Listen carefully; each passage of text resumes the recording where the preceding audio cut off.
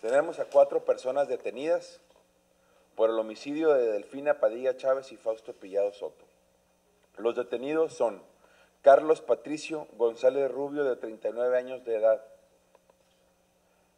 Dajanara Delgado Rodríguez, de 35 años. Ambos son pareja sentimental y originarios de Culiacán, Sinaloa.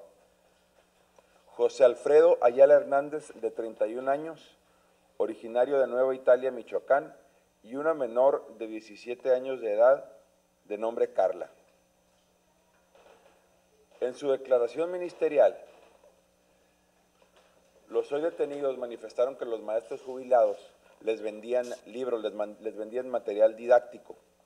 Como resultado de esa serie de transacciones, los hoy detenidos empezaron a acumular una deuda a favor de los maestros. Fue el día 2 de noviembre cuando los maestros llegaron a cobrar al domicilio de Carlos y de Janara, ubicado en la colonia La Mesa, en la ciudad de Nogales. Y con tal de no pagar su deuda, planearon la ejecución de, estas, de esta pareja de maestros.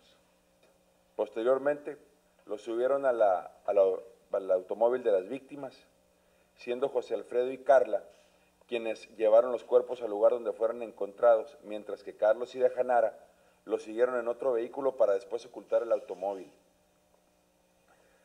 En las próximas horas, la Procuraduría General de Justicia del Estado consignará a los hoy detenidos por los delitos de homicidio calificado con premeditación, alevosía, traición y brutal ferocidad, delito por el que podrían alcanzar una penalidad que va de 25 a 50 años de prisión